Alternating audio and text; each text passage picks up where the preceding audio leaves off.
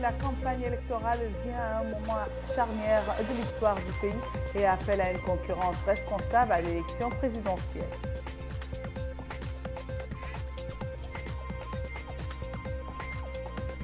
Des syndicats de la santé sont en grève pendant deux jours pour protester contre la non-application d'un protocole signé avec le ministère de la Santé.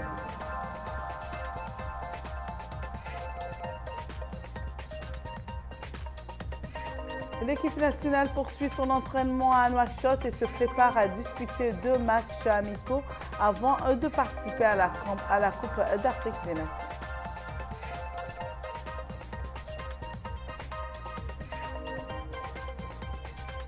Bonsoir et merci de nous avoir choisis pour cette nouvelle page d'information.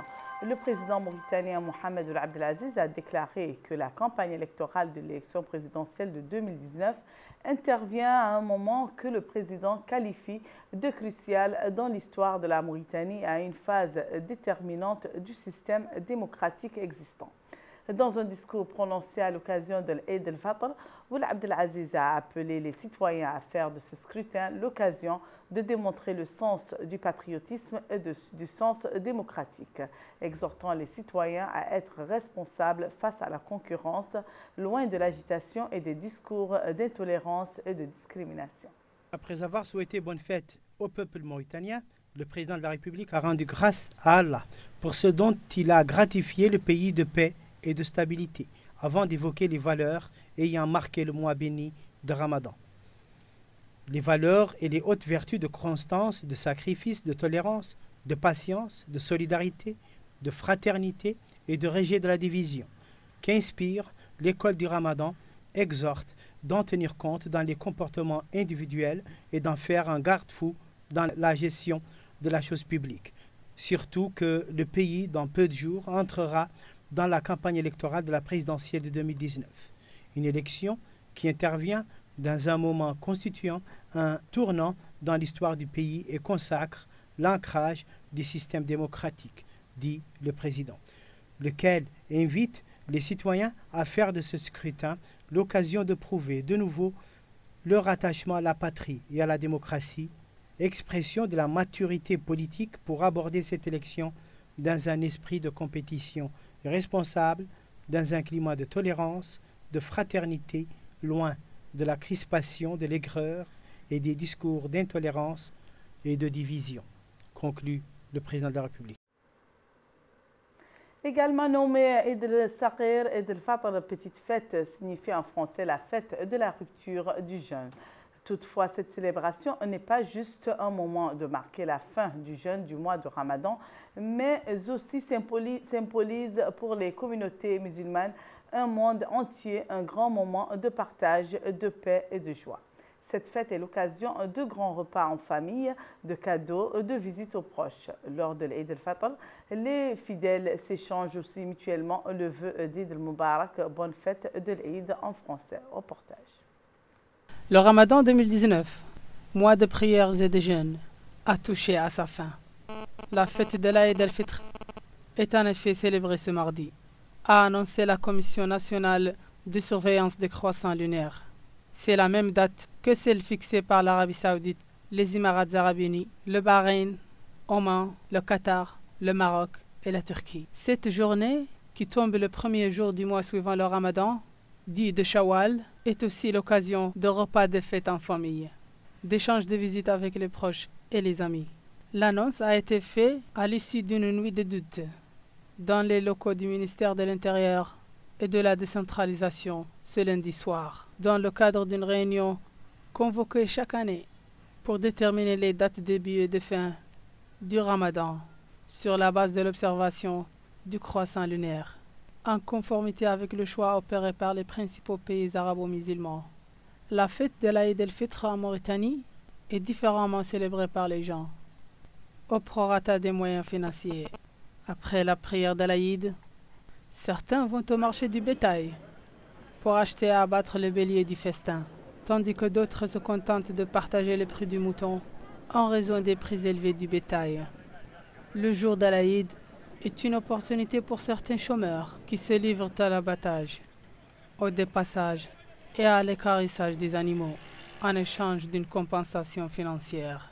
L'affluence des familles vers les parcs est un autre aspect de la célébration de la fête, qui coïncide cette année avec les préparatifs de la campagne électorale en vue de l'élection présidentielle prévue le 22 de ce mois. Les routes menant au marché de la capitale Nouakchott connaissent aujourd'hui des embouteillages que les conducteurs qualifient de goulot d'étranglement.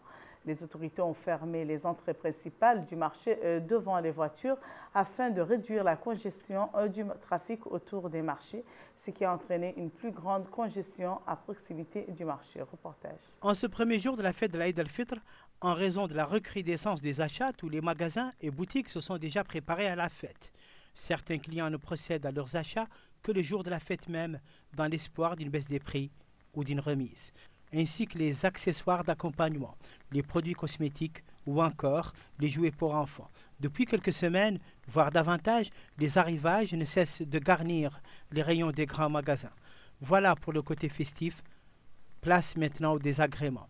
Une ambiance de fête donc qui débute ce mardi, premier des trois jours de la fête de l'Aïd al-Fitr mais les Nouakchottois vivent dans une atmosphère insalubre. Les problèmes d'enlèvement des ordures ménagères que la municipalité peine à résoudre font que des montagnes d'ordures se forment un peu partout le long des artères les plus pratiquées. En plus de l'insalubrité, l'autre bémol, c'est la circulation. Un véritable casse-tête chinois pour les Mauritaniens réputés piètres automobilistes. Les embouteillages auxquels sont déjà habitués les automobilistes dans la capitale font désormais place à des bouchons monstres qui paralysent les véhicules et les usagers des transports en commun. La situation ne fait qu'empirer pendant les fêtes. En dépit de la fermeture des pourtours du marché par des barrières, les automobilistes essayent d'improviser un chemin pour arriver tant bien que mal à destination. Une astuce est de se garer dans les quartiers voisins et de terminer à pied. Mais les Nouakchotois n'en ont pas l'habitude et sont impatients et veulent atteindre leur objectif sans coup férir, ce qui est impossible. Quatre syndicats de la santé ont entamé lundi et mardi euh, une grève pour protester contre l'échec du ministère de la Santé à mettre en œuvre un protocole d'accord signé avec ce dernier en mars dernier. Depuis cette date, les quatre syndicats en question ont organisé un certain nombre de manifestations devant le ministère de la Santé et dans certains hôpitaux, euh, centres de santé au niveau de la capitale pour demander au ministère de mettre en œuvre le contenu du protocole d'accord demeuré lettre morte en dépit de sa signature par le ministre qui a promis d'agir en conséquence. Après plus de deux mois d'arrestation, les magistrats mauritaniens ont accordé la libération provisoire aux blogueurs Cher Ouljedou et Abdrahman Oulweddadi. Les deux blogueurs ont été arrêtés dans le cadre de ce que les médias appellent l'affaire des 2 milliards de dollars. Leurs proches et des sympathisants ont organisé une série de sittings hebdomadaires de protestation devant la prison civile pour exiger leur libération. Ils ont également organisé une journée de blogging sur leur cas. Le Parti du Centre par le Travail pour le Progrès El Massar a organisé son premier congrès dans la capitale Nouakchott en présence de ses dirigeants et de, plusieurs de ses militants de base. Le tout nouveau parti a examiné les grandes lignes de son programme électoral et ses dirigeants ont insisté sur le souhait d'enrichir la scène politique mauritanienne et de garantir les intérêts de la patrie pardon, et du citoyen. L'initiative Ensemble pour rendre justice aux parents des enfants victimes de soif a organisé un sitting devant le bâtiment de l'Assemblée nationale à Nouakchott pour manifester son refus du traitement par les autorités du cas des trois enfants morts de soif il y a quelques jours près du village d'Agar dans la municipalité de Barrena. Les manifestants ont demandé au président de l'Assemblée nationale et au ministre de l'Intérieur de présenter des excuses pour les déclarations qui leur ont été attribués comme ils ont fait de même à l'adresse du député de la Morapa de Prise, le priant de s'excuser pour les propos qui lui sont attribués, à savoir qu'il n'était pas au courant de l'incident. Il s'agit là d'un triste événement survenu en 2019 dans un pays qui malheureusement ne fait pas grand cas de la vie des citoyens lambada. L'équipe nationale continue de s'entraîner à Nouakchott en vue de sa participation au championnat d'Afrique des Nations qui se tiendra ce mois-ci en Égypte. L'équipe devra jouer après la fin du camp d'entraînement au Maroc au cours duquel deux matchs amicaux seront effectués en prévision de la Cannes. Le candidat à la présidentielle, Sidi Mohamed Bakar, s'est rendu au stade Cheikh Aoul à Nouakchott, où l'équipe nationale, les Mourabitoun, se prépare à leur première participation à la Coupe d'Afrique des Nations de l'histoire, prévue ce mois-ci en Égypte. Oul Boubacar a circulé autour du stade où il a suivi certains des exercices et écouté certaines des demandes des supporters et des observateurs de l'entraînement du 11 national. Le Conseil militaire de transition a annoncé ce mardi 4 juin l'annulation de tous les accords signés avec les manifestants civils. Le chef du CMT, qui s'est exprimé en pleine nuit, a également annoncé des élections d'ici neuf mois. Reportage. Les putschistes ont maintenant changé les règles du jeu. Ce sont eux les seuls maîtres à bord. En pleine nuit, le chef de la junte soudanaise, Abdel Fattah al-Burhan, s'est exprimé à la télévision. Un discours de quelques minutes seulement dans lequel il a annoncé une série de mesures. Il a prononcé l'arrêt des négociations avec les civils, ajoutant que la seule façon de rétablir l'ordre était de tenir des élections.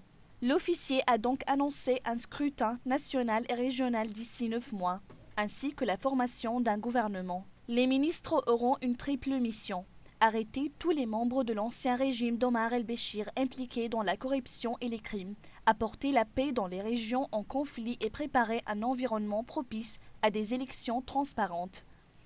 Le chef du conseil militaire s'est de nouveau engagé à céder le pouvoir à ceux qui seront choisis par le peuple. Qui fait au moins 35 morts et 650 blessés, les propos d'Abdel Fattah el-Burhan sont on ne peut plus cyniques. Il a dit regretter que le nettoyage de Neil Street ait excédé les limites de ce qui était prévu. Neil Street, c'est l'endroit où trois fusillades ont éclaté la semaine dernière. Ce n'est pas le fameux site N. Comme si, donc, attaquer le site N n'avait pas été l'objectif de départ, alors que tous les témoignages indiquent le contraire. Ils ont tout détruit, explique Dora, journaliste et membre de l'Association des professionnels soudanais, fer de lance de la Révolution on entend encore des tirs. Plus personne n'ose sortir dans la rue.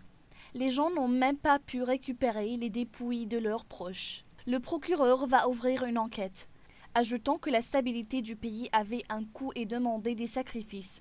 Les militaires semblent vouloir se défausser après le bain de sang, puisqu'Abdel Fattah el-Burhan a fait comprendre que dans cette situation les torts étaient partagés. Les politiques, explique l'officier, portent la même responsabilité que les militaires. Nous reprendrons la rue, ajoute Dora, et nous la reprendrons pacifiquement. Mais le conseil militaire, nous ne négocierons plus jamais avec. Ces hommes ne méritent que la prison. Oui, partis politiques de l'opposition en Algérie ont rejeté la décision du Conseil constitutionnel de reconduire le président provisoire du pays, Abdelkader Ben Salah, en reportant la date de l'élection présidentielle prévue le 4 juillet prochain. Ces partis de l'opposition ont invité le chef d'état-major de l'armée, Ahmed Gaïd Salah, à l'entame d'un dialogue en vue de rechercher la solution appropriée qui permet de répondre aux demandes de la population. Au Niger, une série d'attentats contre la capitale Niamey et Difa, la grande ville du sud-est, a été déjouée ce week-end. C'est ce qu'a annoncé lundi 3 juin le gouvernement nigérien qui n'a donné aucun détail sur l'identité de ces personnes ni sur leur cible. Des ambassades occidentales, notamment françaises et américaines, avaient alerté samedi sur des risques d'attaques terroristes dans le pays. L'alerte lancée par une représentation diplomatique à Niamey sur l'imminence d'attaques terroristes en cette période de fête de Ramadan a permis de neutraliser plusieurs assaillants. Tout d'abord, dans la ville de Difa, trois attaques kamikazes ont été déjouées en 48 heures et cinq assaillants euh, neutralisés avec leur ceinture d'explosifs.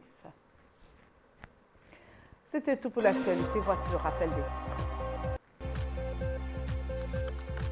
Le président mauritanien a déclaré que la campagne électorale vient à un moment charnière de l'histoire du pays et appelle à une concurrence responsable à l'élection présidentielle.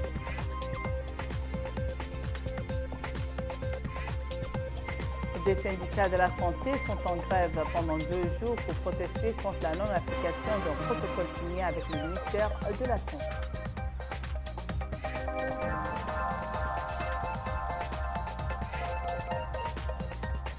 L'équipe nationale poursuit son entraînement à Nouakchott et se prépare à disputer deux matchs amicaux avant de participer à la Coupe d'Afrique des Nations.